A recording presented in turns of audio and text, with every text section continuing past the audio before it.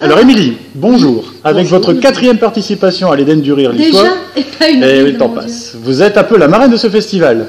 Ah, bah ça fait plaisir. Pensiez-vous, lors de votre premier passage à l'Isle-et-Lannoy, que vous y reviendriez à ce titre?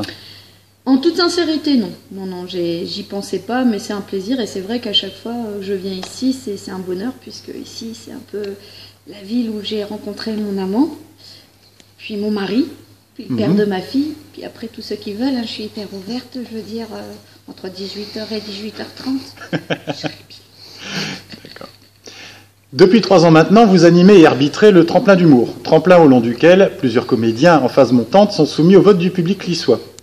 Pouvez-vous nous en dire plus sur les artistes présents cette année? Alors cette année, une présence féminine qui nous vient de Lyon, euh, qui elle euh, complètement barrée, un milieu, un milieu, un humour plutôt, euh, couilles, un humour plutôt euh, cabaresque.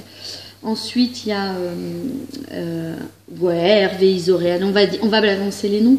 Euh, donc Fabienne Durand qui nous vient de Lyon, Hervé Isoré qui nous vient lui de, de Paris, hein, il y a un peu un mien aussi, mais des, des tartes, donc c'est aussi pour ça qu'il est venu dans le Nord. Nous avons aussi donc Giovanni, plutôt lui dans l'humour visuel, et enfin Alfred Dumont, les bons mots. Voilà, non, non, quatre, uni- quatre univers complètement différents, et puis encore, euh, je pense que ça va être très difficile pour le public de voter encore cette année. Donc un bon petit plateau à découvrir le dimanche 29 mars, Mars. au, au Théâtre de. Voilà. Absolument. Et un nouveau spectacle signé Émilie de Lettra à l'Isle-et-Lannoy, c'est pour quand? Eh bien, euh, le spectacle est écrit, ça y est, euh, il s'appelle Les Confessions d'une bouchère. Je n'ai pas encore joué à Alice Levanois, j'aimerais bien.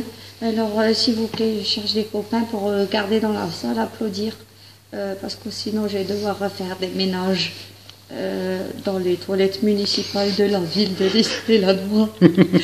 Puis comme, euh, comme j'aimerais pas trop, ce serait bien de viendre. Alors, monsieur le maire, si t'as des sous, si en plus t'en as beaucoup, je viendrai avec grand plaisir. Si t'en as pas, ben, je viendrai quand même. Merci beaucoup Émilie. Mais de rien, Laurent.